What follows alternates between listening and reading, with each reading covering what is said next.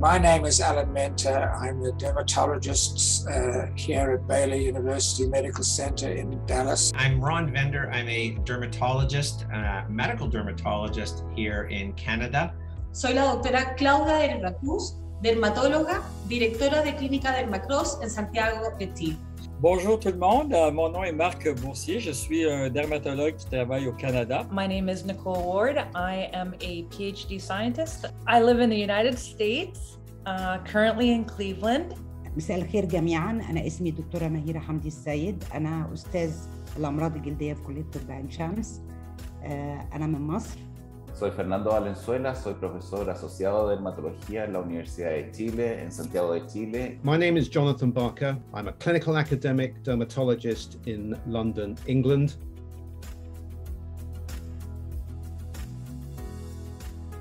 To me, unity in psoriasis is uh, patients and physicians and researchers all working together, as well as organizations that help support Uh, the, uh, the patients. We have to unite together, all of us, in order to help our patients. It's a team effort, it's an interdisciplinary management program. It embraces and encompasses that the best work that we do as scientists is work that we do together, that includes the patient, that includes the clinician, that includes the basic scientists.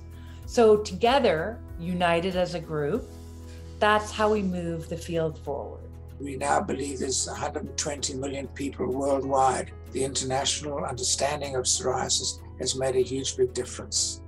In the next 10 years, I would love to see my whole community involved in the treatment of this chronic condition. Not only finding new tools in the treatment and prognosis, but also with acceptance and empathic behavior and the true interest in others.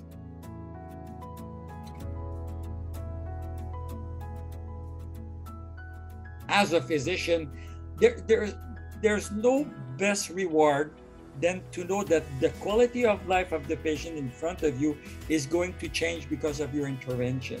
It's not just that the patient clear the skin, the patient is feeling that he's he or she is been heard, that they you have listened to what their problems are. Sure, the skin clears, but not only are they looking better from the outside, they're feeling better on the inside.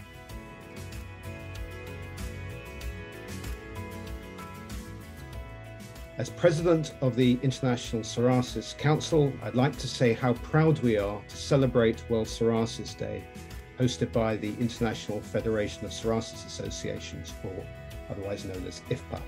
IFPA's theme for this year is united. And we, as an organization of uh, professionals, of dermatologists particularly, stand united with our patients and their organizations as represented by IFPA to work with them to try and rid the world of psoriasis. We hope that currently and even more so in time that we will be able to improve the lives of patients with psoriasis Doctors need to work with their patients, and both need to work with researchers and people who develop new treatments. But this will only be achieved by all stakeholders being united.